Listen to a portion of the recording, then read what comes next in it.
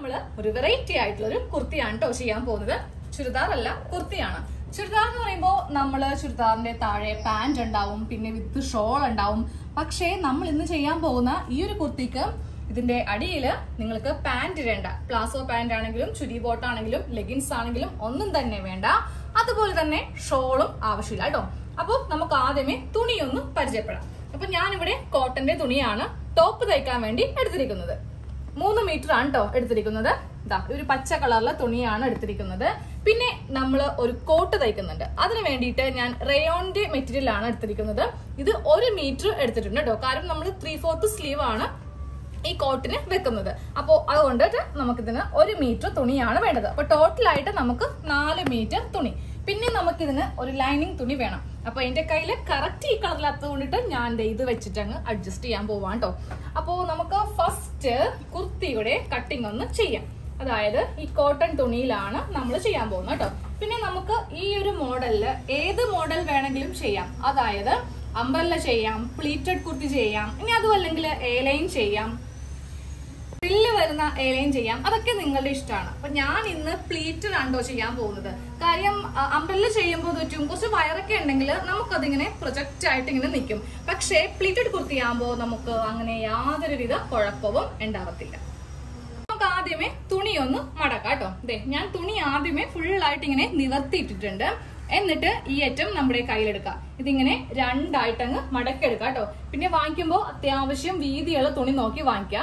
Night തുണി വേണ്ട കേട്ടോ. ഒട്ടും തന്നെ നമുക്ക് പ്ലീറ്റ്സ് കിട്ടത്തില്ല.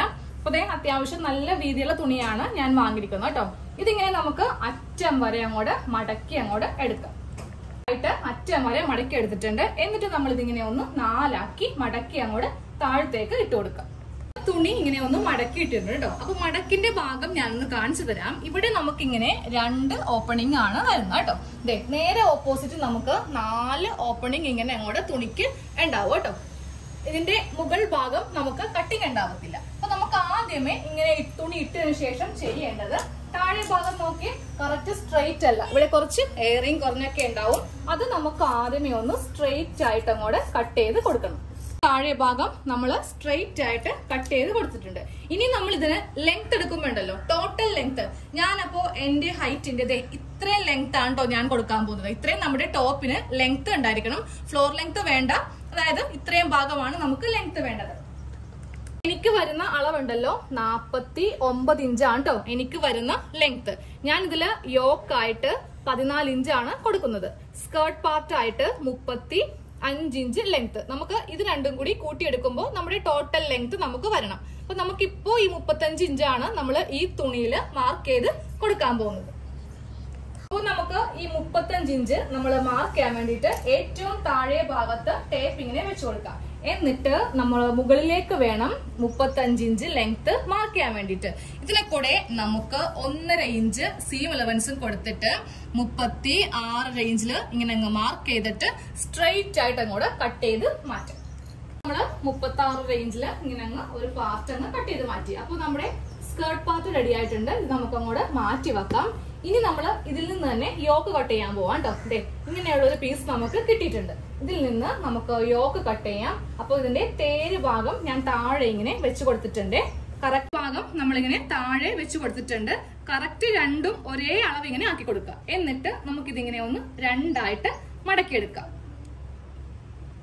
നമുക്കിതിൽ യോക്ക് പാർട്ട് കട്ട് ചെയ്യാം. അപ്പൊ നമ്മുടെ യോക്കിന്റെ ലെങ്ത് വരുന്നത് പതിനാല് ഇഞ്ചാണ് അതിനെ കൂടെ ഒരു ഇഞ്ച് സീം അലവൻസ് കൊടുത്തിട്ട് പതിനഞ്ച് ഇഞ്ചിൽ നമുക്ക് ഇങ്ങനെ ഒന്ന് മാർക്ക് ചെയ്തങ്ങോട്ട് കൊടുക്കാം.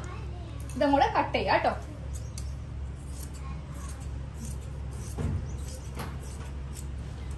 അതെ യോക്ക് പാർട്ട് ഇങ്ങനെ അങ്ങ് കട്ട് ചെയ്തെടുത്തിട്ടുണ്ട്. ഇനി നമുക്കിതിൽ മാർക്ക് ചെയ്യേണ്ടത് ഷോൾഡറിന്റെ അളവാണ്. ഏഴ് ആണ് ഷോൾഡർ അളവ്. അത് മാർക്ക് ചെയ്ത് കൊടുത്തു. താഴത്തേക്ക് ആം ഹോൾ ലെങ്ത് വരുന്നത് ആറര ഇഞ്ച് അത് മാർക്ക് ചെയ്തു. എന്നിട്ട് ഒരു സ്ട്രെയിറ്റ് ലൈൻ വരക്കുക. ഇനി നമ്മൾ ചെസ്റ്റ് ആണ് കേട്ടോ മാർക്ക് ചെയ്യാൻ പോകുന്നത്. ചെസ്റ്റ് അളവ്. അതെ ഈ കാണുന്നതാണ് നമ്മുടെ ചെസ്റ്റ് ലൈൻ അത് ഞാൻ ഇങ്ങനെ ഒന്ന് വരച്ചു കൊടുത്തിട്ടുണ്ട് കേട്ടോ ചെസ്റ്റ് കറക്റ്റ് അളവ് ഒമ്പത് ഇഞ്ച് അതിനെ കൂടെ നമുക്ക് രണ്ട് ഇഞ്ച് സീം അലവൻസ് ഇട്ട് കൊടുക്കാം. ഇനി നമുക്ക് ഇതിൽ ആം ഹോൾ ഒന്ന് കുഴിച്ചിങ്ങനെ അങ്ങോട്ട് വരച്ച് കൊടുക്കാം. വീണ്ടും ഒരു അര ഇഞ്ച് എക്സ്ട്രാ നമുക്കൊന്ന് കുഴിച്ചിങ്ങനെ വരച്ച് കൊടുക്കാം കേട്ടോ. ഇനി നമുക്ക് താഴത്തെ വണ്ണം. താഴത്തെ വീതി വരുന്നത് ആദ്യമേ ഷേപ്പ് ലെങ്ത് മാർക്ക് ചെയ്യാം. പതിമൂന്നര ഇഞ്ചിലാണ് ഷേപ്പ് ലെങ്ത് വരുന്നത്. ഇനി ഷേപ്പിന്റെ വിട്ട് മാർക്ക് ചെയ്യാം. കറക്റ്റ് അളവ് വരുന്നത് ഏഴ് ഇഞ്ചാണ് രണ്ട് ഇഞ്ച് സീം അലവൻസ് കൊടുത്തിട്ട് നമുക്ക് ഒമ്പത് ഇഞ്ചിൽ ഇങ്ങനെ ഒന്ന് മാർക്ക് ചെയ്ത് കൊടുക്കാം. ഈ രണ്ട് ലൈൻ തമ്മിൽ ഇങ്ങനെ അങ്ങ് വരച്ചു കൊടുക്കാം. നമ്മുടെ കറക്റ്റ് അളവ് ഈ കാണുന്നതാണ് കേട്ടോ നമ്മൾ ഇത്രയും ലൂസ് ആണ് കൊടുത്തിരിക്കുന്നത്. ഇനി നമുക്ക് ഇതും കൂടെ അങ്ങോട്ട് കട്ട് ചെയ്ത് കൊടുക്കാം. ആംഹോൾ കട്ട് ചെയ്യുമ്പോൾ എപ്പോഴും നമ്മൾ മുകളിൽ നിന്ന് സ്റ്റാർട്ട് ചെയ്യുന്നതാണ് കേട്ടോ നല്ലത്. എന്നാലേ കറക്റ്റ് ആ ഒരു ആംഹോളിന്റെ ഷേപ്പ് നമുക്ക് കിട്ടുകയുള്ളൂ. അപ്പൊ ദേ നമ്മൾ ആംഹോൾ ഇങ്ങനെ കട്ട് ചെയ്ത് എടുത്തു. ഇപ്പൊ രണ്ട് പാർട്ട് ഉണ്ട് ബാക്കും ഉണ്ട് ഫ്രണ്ടും ഉണ്ട്. നമുക്കിനി ഇതിൽ നെക്കും കൂടെ വരച്ചിട്ട് ഇതങ്ങോട്ട് മാറ്റിയെടുക്കാമേ. അപ്പോൾ ഈ ഒരു മോഡലിലൊക്കെ നമുക്ക് റൗണ്ട് നെക്കാണ് കേട്ടോ ഏറ്റവും ഭംഗി കാണാനായിട്ട്. മൂന്ന് ഇഞ്ചാണ് നെക്ക് വീതി. അതിങ്ങനെ മാർക്ക് ചെയ്ത് കൊടുക്കാം. ഫ്രണ്ട് നെക്ക് ഞാൻ അഞ്ചര ഇഞ്ചും ബാക്ക് നെക്ക് മൂന്ന് ഇഞ്ചുമാണ് കൊടുക്കാൻ പോകുന്നത്. നമ്മൾ കറക്റ്റ് റെഡിമെയ്ഡ് മോഡലിലാണ് കേട്ടോ ചെയ്യാൻ പോകുന്നത്. എന്നിട്ട് നമ്മൾ ഇതൊരു ബോക്സ് ആക്കി വരച്ചു കൊടുക്കാം എന്നിട്ട് വേണം നമുക്കിതിൽ നല്ല റൗണ്ട് നെക്ക് ഇങ്ങനെ ഒന്ന് വരച്ച് കട്ട് ചെയ്യാൻ വേണ്ടിയിട്ട്. അപ്പോൾ ആദ്യമേ കട്ട് ചെയ്യുമ്പോൾ ഉണ്ടല്ലോ ഈ ചെറിയ നെക്ക് അങ്ങോട്ട് ആദ്യമേ അങ്ങോട്ട് കട്ട് ചെയ്ത് മാറ്റുക. ദാ ഇതുപോലെ ചെറിയ നെക്ക് അങ്ങോട്ട് നമ്മൾ കട്ട് ചെയ്യുക. എന്നിട്ട് എന്താ ചെയ്യണ്ടേ? ഇതിന്റെ ഉള്ളിൽ നിന്ന് ഒരു പീസ് മാറ്റാം. ഇതിങ്ങനെ ഓപ്പൺ ചെയ്യാം. ഇത് ബാക്ക് പാർട്ട് ഇതങ്ങോട്ട് മാറ്റാം. ഇത് ഫ്രണ്ട് പാർട്ട് ആക്കാം. ഒന്നും കൂടെ മടക്കി വെച്ചിട്ട് നമുക്ക് ഈ ഫ്രണ്ട് നെക്ക് ഈ ഒരു അളവിൽ വെച്ചിട്ട് കട്ട് ചെയ്യാം. അപ്പൊ നമുക്ക് രണ്ട് പ്രാവശ്യമായിട്ടൊന്നും കട്ട് ചെയ്യേണ്ട ആവശ്യമില്ലല്ലോ. ഒറ്റ പ്രാവശ്യം വെച്ചിട്ട് തന്നെ രണ്ട് നെക്കും നമുക്ക് അങ്ങോട്ട് കട്ട് ചെയ്ത് എടുക്കാം. അപ്പോൾ ഫ്രണ്ട് നെക്ക് കട്ട് ചെയ്ത് എടുത്തിട്ടുണ്ട് കേട്ടോ. അപ്പൊ നമ്മുടെ യോക്ക് പാർട്ടിന്റെ കട്ടിങ് കഴിഞ്ഞു. ഇതങ്ങോട്ട് മാറ്റി വെക്കാം. നമുക്കിനി ഇതിന് സ്ലീവിന്റെ ആവശ്യമില്ല. ദാ സ്ലീവിനുള്ള തുണിയുണ്ട്. പക്ഷെ നമുക്ക് ഇതിന് സ്ലീവ് വേണ്ട. കാര്യം നമ്മൾ കോട്ട് തയ്ക്കുന്നുണ്ടല്ലോ. ഇത് നിങ്ങൾക്ക് നിർബന്ധം വെച്ചാൽ നിങ്ങൾക്ക് ഇതിൽ നിന്ന് സ്ലീവ് കട്ട് ചെയ്ത് എടുക്കാവുന്നേ ഉള്ളൂ കേട്ടോ. ഇനി നമുക്ക് ലൈനിങ് കട്ട് ചെയ്യാം കേട്ടോ. അപ്പൊ ഞാൻ ലൈനിങ് തുണിക്ക് റോക്ക് കോട്ടന്റെ തുണിയാണ് വാങ്ങിയിരിക്കുന്നത്.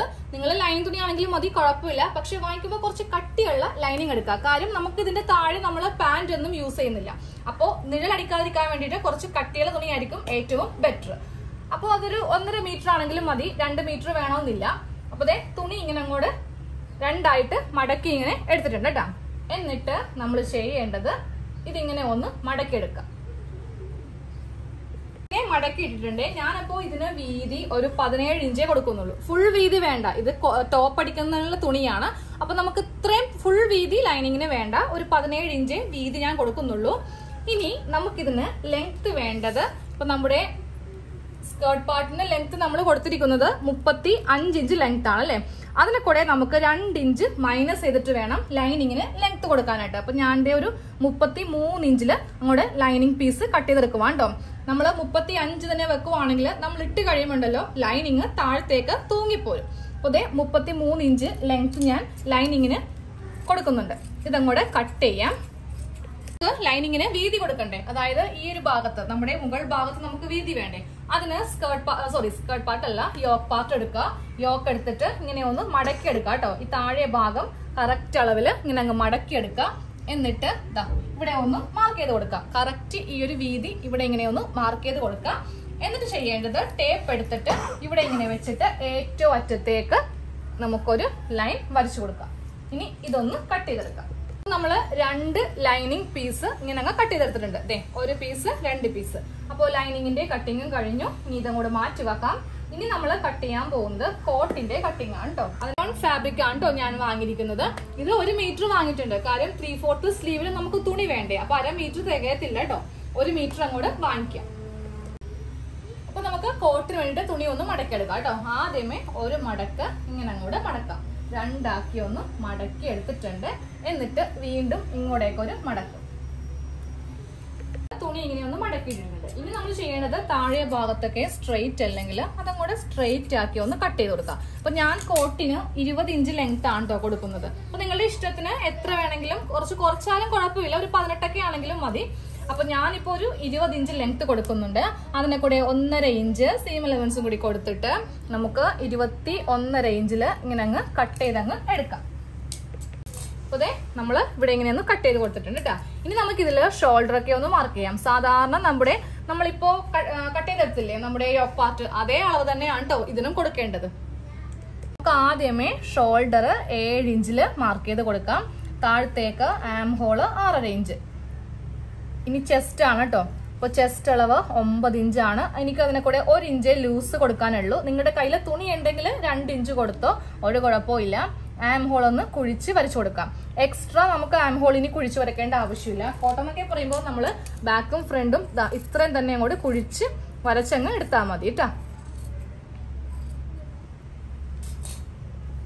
അപ്പൊ നമ്മൾ ആം ഹോൾ ഇങ്ങനെ കട്ട് ചെയ്ത് കൊടുത്തിട്ടുണ്ട് കേട്ടോ ഇനി നമുക്കിതിൽ ഷേപ്പ് ഒന്ന് മാർക്ക് ചെയ്യാം. ഷേപ്പ് ലെങ്ത് വരുന്നത് പതിമൂന്ന് റേഞ്ചിലാണ് ഷേപ്പ് ലെങ്ത് ഷേപ്പിന്റെ വിഡ്ത്ത് ഏഴ് ഇഞ്ചാണ് കറക്റ്റ് അളവ്. അതിനെ കൂടെ രണ്ട് ഇഞ്ച് സീം അലവൻസ് കൊടുത്തിട്ട് ഒമ്പത് ഇഞ്ചിൽ ഇങ്ങനെ ഒന്ന് മാർക്ക് ചെയ്യാം കേട്ടോ അപ്പൊ നമ്മുടെ താഴത്തെ അരവണ്ണമില്ലേ അത് ഞാൻ മാർക്ക് ചെയ്യുന്നില്ല. അത് നേരത്തെ ഇവിടേക്ക് ഇങ്ങനെ അങ്ങ് വരച്ചിട്ട് അത് അറ്റത്തേക്ക് തന്നെ ഇങ്ങനെ അങ്ങോട്ട് കൊടുക്കുവാണ് കേട്ടോ. എന്നിട്ട് നമുക്ക് ഈ ഭാഗം ഒന്ന് ഇങ്ങനെ ഒന്ന് കട്ട് ചെയ്ത് അങ്ങോട്ട് എടുക്കാം. ഇതിന്റെ സൈഡ് ഇങ്ങനെ ഒന്ന് കട്ട് ചെയ്തിട്ടുണ്ട്. ഇനി നമുക്കിതിലെ നെക്കാണ് ഒന്ന് വരച്ചെടുക്കേണ്ടത് അപ്പോൾ നെക്ക് ലെങ്ത്ത് മൂന്ന് ഇഞ്ച് തന്നെ നെക്കിന്റെ ലെങ്ത് അല്ല നെക്ക് വിട്ട് മൂന്ന് ഇഞ്ച് തന്നെ എടുക്കാം. ഇനി നമുക്ക് നെക്ക് ലെങ്ത്ത് മാർക്ക് ചെയ്ത് കൊടുക്കാം.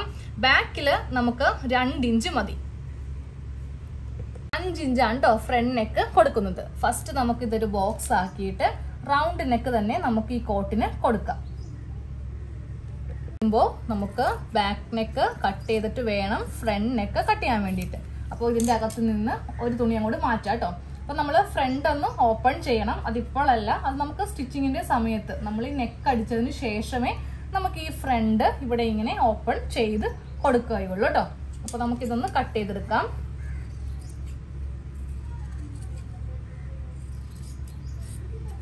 അപ്പൊ ഇതാ നമ്മുടെ കോട്ടിന്റെ കട്ടിങ് കഴിഞ്ഞു. ഫ്രണ്ട് പാർട്ട് ആണ് ഈ കാണുന്നത്.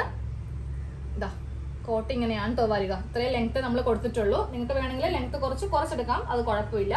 ഇത് ബാക്ക് പാർട്ടാണ് ഓക്കെ ഇതങ്ങോട്ട് മാറ്റി വെക്കാം. ഇനി നമുക്ക് സ്ലീവും കൂടെ കട്ട് ചെയ്തെടുക്കാം. സ്ലീവിനുള്ള ബാക്കി തുണിയാണ് ഈ കാണുന്നത്. ആദ്യമേ ഒരു മടക്ക് ഇങ്ങനെ അങ്ങ് മടക്കി കൊടുക്കാം. എന്നിട്ട് വീണ്ടും ഒരു മടക്ക് കൂടെ. ഇങ്ങനെ അങ്ങ് തുണി നമ്മൾ നാലാക്കി മടക്കി എടുത്തിട്ടുണ്ട്. അപ്പൊ ഞാൻ ഇതിന് ഉള്ള ലെങ്ത് അങ്ങോട്ട് എടുക്കുവാണ് ഇതിപ്പോ ടോട്ടൽ ലെങ്ത് ഇതിന് വരുന്നത് പതിനഞ്ച് ഇഞ്ച് വരുന്നുണ്ട്. ഇത് ഫുൾ ആയിട്ട് അങ്ങോട്ട് എടുക്കുവാണ്. ഇനി നമുക്ക് ഇതിന് വണ്ണം ഒക്കെ ഒന്ന് മാർക്ക് ചെയ്ത് കൊടുക്കാം. സ്ലീവിന്റെ വണ്ണം ആദ്യമേ മാർക്ക് ചെയ്ത് കൊടുക്കാം. എട്ട് ഇഞ്ചാണ് സ്ലീവിന്റെ വണ്ണം. അതിനെ കൂടെ നമുക്ക് രണ്ട് ഇഞ്ച് സീം അലവൻസ് ഇപ്പൊ ഇല്ല. ഇതിപ്പോ ഒമ്പതര ഇഞ്ചേ ഉള്ളൂ. അതായത് ഒന്നര ഇഞ്ച് സീം അലവൻസേ ഉള്ളൂ കേട്ടോ അപ്പോൾ ഉള്ളത് ഞാൻ അങ്ങോട്ട് എടുക്കുവാണ്. താഴത്തേക്ക് ആം ഹോൾ മൂന്നര ഇഞ്ചിൽ ഇങ്ങനെ അങ്ങ് മാർക്ക് ചെയ്ത് കൊടുത്തിട്ട് നമുക്ക് ഇവിടെ നിന്ന് ഇങ്ങനെ ഒരു കർവ് അങ്ങോട്ട് വരച്ചു കൊടുക്കാം.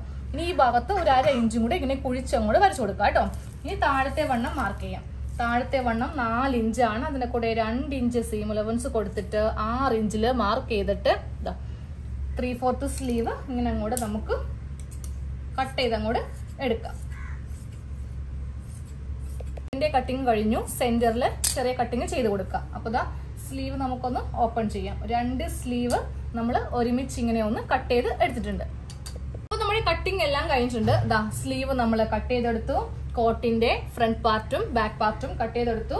ഇത് നമ്മുടെ കുർത്തിയുടെ യോക്കാണ് കേട്ടോ ഫ്രണ്ടും ബാക്കും യോക്കാണ് ദാ ഇത് ലൈനിങ് ആണ്. ഇപ്പൊ നമ്മളെ പാന്റ് ഇല്ലല്ലോ താഴെ ഭാഗത്ത്. ലൈനിങ് കട്ട് ചെയ്തെടുത്തിട്ടുണ്ട്. ഇത് സ്കേർട്ട് പാർട്ട് പ്ലീറ്റഡ് കുർത്തിക്ക് വേണ്ടിയിട്ടുള്ള സ്കേർട്ട് പാർട്ട് ആണ് നമ്മളിങ്ങനെ കട്ട് ചെയ്തെടുത്തിരിക്കുന്നത് കേട്ടോ ഇപ്പോ ഇപ്പോ നമ്മുടെ കട്ടിങ് തന്നെ ഒരുപാട് സമയമായിട്ടുണ്ട് അപ്പൊ നമുക്ക് സ്റ്റിച്ചിങ് അടുത്ത പാർട്ടിൽ ചെയ്യാം കേട്ടോ